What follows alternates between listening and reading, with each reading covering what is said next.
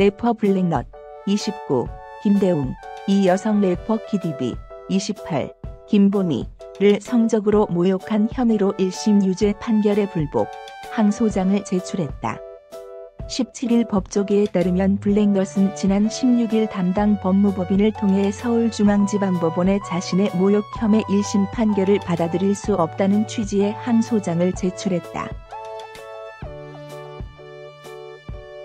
앞서 서울중앙지방법원 형사 5 단독은 지난 10일 오전 블랙넛의 모욕 혐의 1심 선고 기일을 열고 블랙넛에 대해 징역 6개월, 집행유예 2년과 160시간 사회봉사 명령을 내렸다.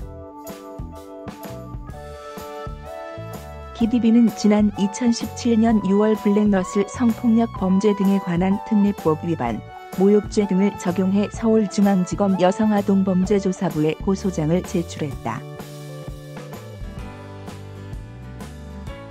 키디비는 이후 2017년 11월 블랙넛이 공연에서 총 4차례 자신을 모욕하는 행위를 했다는 내용을 추가해 서울 영등포 경찰서에 블랙넛을 고소했고 검찰은 블랙넛을 모욕 혐의로 불구속 기소했다. 앞선 결심 공판에서 검찰은 모욕 혐의로 기소된 블랙넛에 대해 징역 1년, 집행유예 2년을 구형한 바 있다. 또한 사건을 고소한 기디비는 직접 증인 자격으로 출석해 블랙넛을 향해 가볍지 않은 처벌을 내려줄 것을 호소했다. 반면 피고인 자격으로 참석한 블랙넛은 자신의 혐의에 대해 모욕할 의도가 없었다고 거듭 부인했다.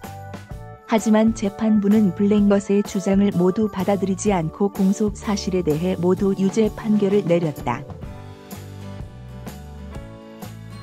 당시 블랙벗은 선고 직후 스타뉴스에 앞으로 더 솔직한 음악을 하고 싶고 힙합 음악을 하시는 분들이 좀 더 자유로운 생각을 표현할 수 있었으면 좋겠다라고 짧게 답했다.